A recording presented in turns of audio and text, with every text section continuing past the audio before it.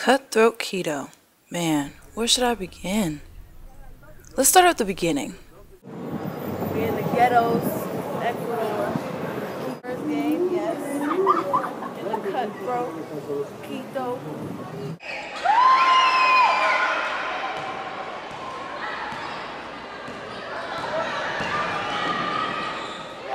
After the Nationals, we had the South American tournament, which we won by third place, by the way.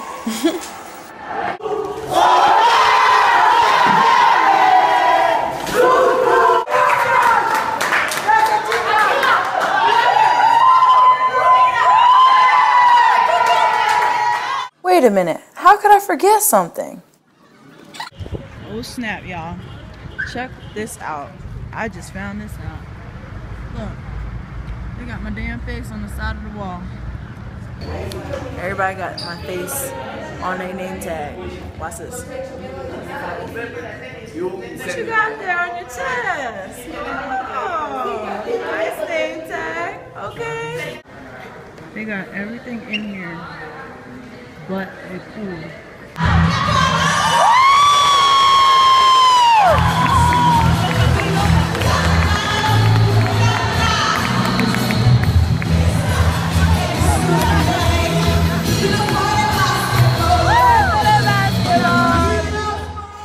So during check-in, uh, these are the girls I hang out with normally, all the time.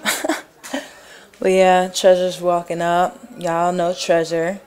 Lakeisha Sutton's cousin, Prima. And yeah, got my hair all wild and out, twist outs. And this is a lovely room where we eat and sleep at.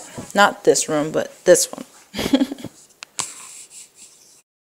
And we actually moved those beds to uh, put three in one room, so we all slept in that same room. But after the South American tournament, there's this big party. And that's my man in the gray hat. He came down to visit me. Chelsea right here, you know what I'm saying, got fan favorite back there, but she ain't she tripping. But holla, Quito, here we come. He actually had to put in some work too.